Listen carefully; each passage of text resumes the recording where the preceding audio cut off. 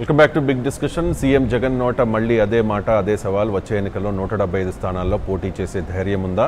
పొత్తులు లేకుండా పోటీ చేసి గెలిచే సత్తా ఉందా? ఎందుకు జగన్మోహన్ రెడ్డి పదే పదే ఈ అంశాన్ని ప్రస్తావిస్తూ ఉన్నారు? ప్రతిపక్షాలని కార్నర్ చేయడానికి ఈ అంశాన్నే ఎందుకు లేవనెత్తుతున్నారు? అదే అంశం మీద మనం బిగ్ డిస్కషన్ని కంటిన్యూ చేద్దాం. ఆంజనేయ రెడ్డి గారు ఉన్నారు భారతీయ జనతా పార్టీ అధికార ప్రతినిధి. ఆంజనేయ రెడ్డి గారు పదే పదే ఈ మధ్య కాలంలో నాకు తెలిసి గత వన్ ఇయర్గా ఇదే సవాల్ని చేస్తూ ఉన్నారు జగన్మోహన్ రెడ్డి గారు. ఇది ఆత్మవిశ్వాసంతో చేస్తూ ఉన్నారా? లేకపోతే ఒక రకమైన అతి విశ్వాసమా ఎందుకంటే నూట డెబ్బై ఐదుకి నూట డెబ్బై ఐదు అంటే నా వాయిస్ వినిపిస్తుందా సార్ మీకు? ఆంజనేయ రెడ్డి గారు? ఆంజనేయ రెడ్డి గారు? ఇది ఆత్మవిశ్వాసమా అతి విశ్వాసమా లేక అభద్రతాభావమా? ఏదో ఫ్రస్ట్రేషన్లో మాట్లాడుతూ ఉన్నారా? మీకేమనిపిస్తోంది? ఆంజనేయ రెడ్డి గారు. రవిశంకర్ గారు ప్యానల్ ఉండేవాడు అందరూ కూడా నమస్కారాలు. నమస్కారం సార్.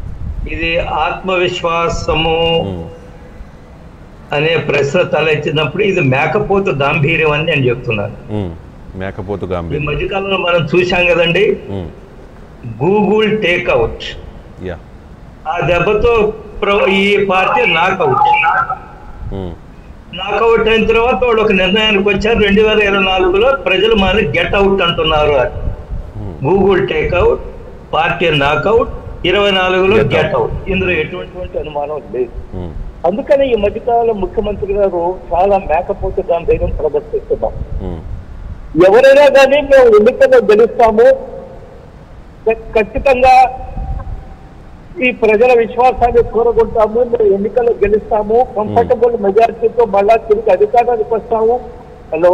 మాట్లాడండి సార్ మీరు మాట్లాడండి. సౌండ్ పెంచండి కంఫర్టబుల్గా అధికారానికి వస్తామని చెప్తారు కానీ మన ముఖ్యమంత్రి గారు నూట డెబ్బై ఐదుకి నూట డెబ్బై ఐదు గెలుస్తాము ఎవరికైనా నూట డెబ్బై ఐదు పోటీ చేసే ధైర్యం ఉందంటే ఇది స్పష్టంగా వారు మేకపోతు గాంభీర్యం అనే విషయంలో ఎటువంటి అనుమానం లేదు. చాలా అభద్ర మీరు మీరు అన్నారు అభద్రతా భావం. అని. ఎస్ ఖచ్చితంగా అభద్ర అభద్రతా భావమే. ఎందుకనంటే.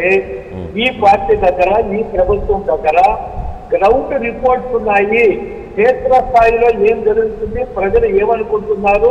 ప్రజలు మన మీద విశ్వాసం కోల్పోతున్నారు కాబట్టి అందులో నుంచి ఇచ్చిన ఆందోళన లేకపోతే లేకపోతే గంభీరం అని మనకి స్పష్టంగా అర్థమవుతుంది. ముఖ్యమంత్రి గారు బాడీ లాంగ్వేజ్ చూడండి వారి మాటలు చూడండి. లేదు ఇంకేదో ఆయన ఉన్నప్పుడు వర్షాలు రావడం లేదు నేను ఉన్నప్పుడు వర్షాలు వచ్చాయి. వరుణ దేవుడు మా పార్టీలో పుట్టాడు నేను తొమ్మిది వాడు ఏదో కదా. నేనేమంటున్నానంటే ఏ చంద్రబాబు నాయుడు గారి సమయంలో ఆయన దురదృష్టం వర్షాలు రాలేదు సరే ముఖ్యమంత్రి గారు వచ్చారు వర్షాలు వచ్చాయి. కానీ వర్షాలు వచ్చిన తర్వాత ఏం జరుగుతుంది? రాష్ట్రంలో ఎక్కడన్నా వర్షాలు పడ్డ నీళ్ళను సముద్రానికి పోనకుండా ఆపి కనీస యొక్క మరమ్మతులు చేసి కాలువలకు కానీ చెరువులకు కానీ లేదా డ్యాములకు కానీ కనీస మరమ్మతులు లేదా అక్కడ ఉండే రేడియల్ తలుపులు ఏవైతే ఉన్నాయో అనేక ప్రాజెక్టులకి మినిమం మరమ్మతులు చేయాల్సింది. అందుకనే వర్షాలు సమృద్ధిగా పడ్డప్పటికి కూడా మనం గతంలో చూసాం రాయలసీమలో ఏం జరిగిందో అక్కడ కనీసం యొక్క రిపేర్లకి మెయింటైన్ చేయనందువల్ల ఏ విధంగా ఆ ఫ్లడ్స్ వచ్చాయి అక్కడ అమాయకులు ఏ విధంగా చనిపోయారు? మా నెల్లూరు జిల్లాలో స్వయంగా చూస్తాము పెద్ద ఎత్తున ఫ్లడ్స్ వచ్చినప్పుడు ఈ ఇసుక మాఫియా వల్ల.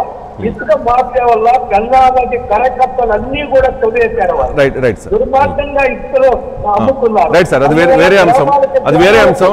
జగన్మోహన్ రెడ్డి గారికి ఆ అభద్రతా భావము మేకపోతు గాంభీర్యం అని మీరు చెప్తున్నారు కదా. రైట్ సార్ ఆ ధైర్యము ఆ ధైర్యము కేంద్రం నుంచి వచ్చిందని కొంతమంది కామెంట్ చేస్తూ ఉన్నారు. అది మోదీ గారు ఇచ్చిన ధైర్యం అంట. కాదా.